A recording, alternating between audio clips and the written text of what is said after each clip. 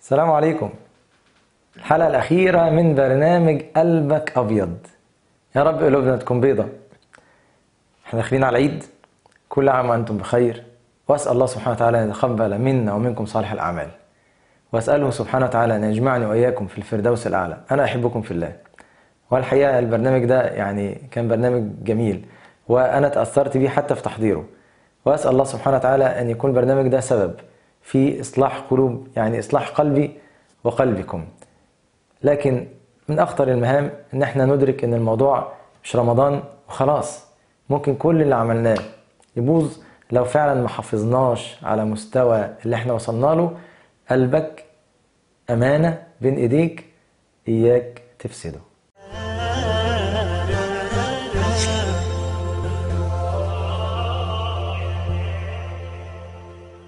السلام عليكم. رحلة جميلة عشناها مع برنامج قلبك أبيض. الحمد لله على فضله ومنته. الفضل كله لله سبحانه وتعالى. رحلة جميلة أدركنا فيها معنى قول النبي عليه الصلاة والسلام تعرض الفتن على القلوب. الفتن تعرض على إيه؟ على القلوب. عشان كده كان كلامنا كله على القلب كعرض الحصير عودا عودا. فأيما قلب أشربها مشى مع الفتنة وسرح مع الفتنة. أيما قلب أشربها نكتت في قلبي نكتة سوداء. وأيما قلب أنكرها عرضت عليه الفتنة قال لا اتعرض عليه الإباحية قال لا اتعرض عليه الرشوة قال لا. نكتت في قلبي نكتة بيضاء. حتى تصير القلوب على قلبين قلب أبيض أبيض مثل الصفا. لا تضره فتنة ما دامت السماوات والأرض. وقلب أسود مرباد كالكوز مجخيا لا يعرف معروفا ولا ينكر منكرا إلا ما أشرب من هواه. عشان كده كانت رحلتنا في البرنامج صناعة القلب الأبيض. أنا ليه بقول الحديث ده تاني؟ علشان قول النبي عليه الصلاة والسلام تعرض الفتن على القلوب. اللي عايز أقوله لك إن بعد رحلتنا دي بعد ما رمضان ما خلص بفضل الله سبحانه وتعالى هتلاقي مرة واحدة ستعرض الفتن على قلبك. هتلاقي البنات رجعوا تاني للتبرج. هتلاقي ان ان إن إن السجاير بتتعرض عليك تاني السينمات فتحت. هتلاقي ان إن المنكرات بقت سهلة. هتلاقي إن الصلاة ما بقتش زي الأول. هتلاقي الناس مش مقبلة على الصلاة زي الأول. قيام الليل اختفى.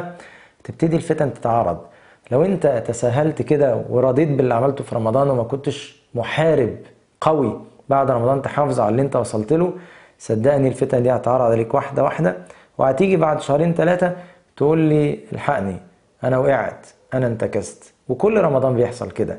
إمتى؟ هنحافظ على رمضان ونبني عليه مش كل شوية يضيع مننا ونرجع نبني من الأول.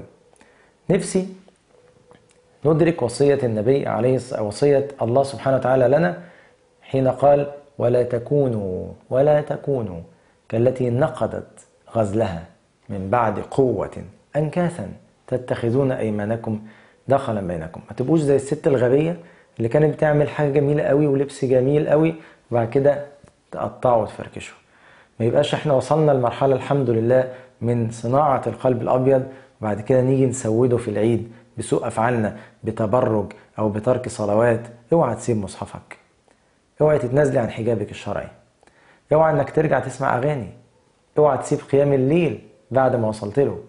اوعى تسيب ركعات الضحى. اوعى تسيب أذكار الصباح والمساء تاني. لا تكونوا كالتي نقضت غزلها من بعد قوة. ربنا سبحانه وتعالى وصف قلبك زي الزجاجة. قال مثل نوره كمشكاة فيها مصباح. المصباح في زجاجة. الزجاجة دي قلبك. الزجاجة دي قلبك. ربنا لما أراد يوصف قلب الإنسان وصفه بالزجاجة. ليه؟ لأن الزجاجة رقيقة. لأن الزجاجة أقل حاجة بتأثر فيها علشان الزجاجة ديت تنتفع بنور الوحي ويدخلها نور الوحي لازم تظل صافية راقية نقية. عايزك تتخيل إن قلبك زجاجة. حافظ على قلبك لأن أي أي معصية بتهبب القلب دوت. فلا النور يطلع منه ولا النور يدخل فيه. كلا بل ران على قلوبهم.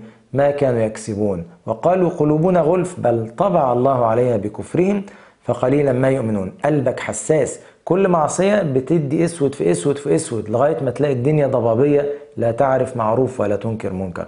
أرجوكي حسي إن قلبك ده ماسة.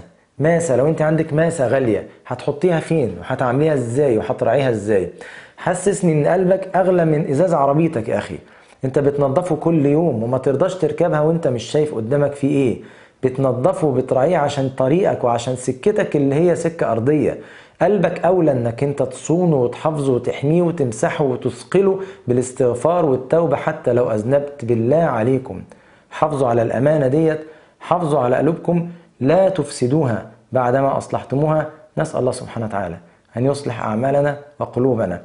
وأنا أقول لكم كل عام وأنتم بخير وأسأل الله يتقبل منا ومنكم صالح الأعمال. وأرجو من الله أن يكون هذا البرنامج كان برنامج نافع لي ولكم وأن ينفعني وإياكم به يوم لقائي إنه ولي ذلك. والقادر عليه كل عام وأنتم بخير. جزاكم الله خيرا. السلام عليكم